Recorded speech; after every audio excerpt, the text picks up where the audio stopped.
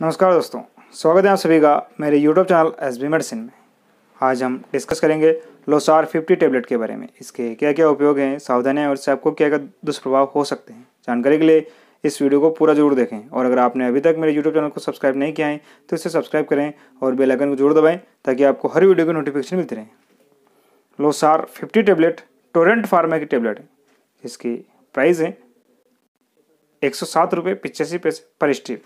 ये पंद्रह टेबलेट की स्ट्रिप होती है, जिसका कंटेंस होता है लोसार्टन पचास एम इस टेबलेट का यूज़ आप डॉक्टर की सलाह के अनुसार ही करें। यह टेबलेट आपको डॉक्टर के प्रिस्क्राइब पे सभी मेडिकल स्टोर पे मिल जाएगी। लोसार फिफ्टी टेबलेट एक ए आर बी है, यानी एंजियोटेंशन रिसेप्टर ब्लॉकर इस टेबलेट का उपयोग hypertension heart fail heart attack और स्ट्रोक से बचाव के लिए जाते हैं।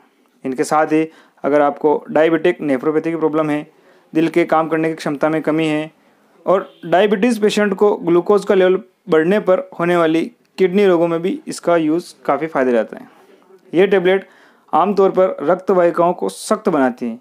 ये ब्लड को सुचारू रूप से फ्लो करने और हार्ट को अच्छी तरह से पंप करने में मदद करती हैं। ब्लड प्रेशर कम होने से भविष्य में दिल के दौरे को और स्ट्रोक को रोकने में मदद मिलती है।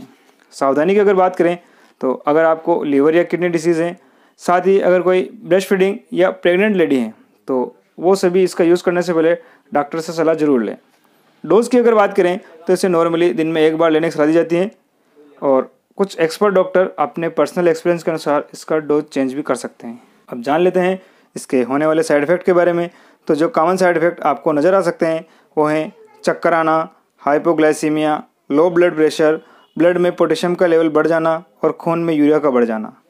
इन साइड इफ़ेक्ट के अलावा भी अगर आपको अदर साइड इफ़ेक्ट नज़र आते हैं तो ऐसे में इसका यूज़ बंद करें और अपने डॉक्टर से कंसल्ट करें।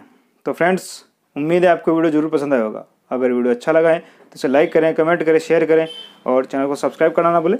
Thank you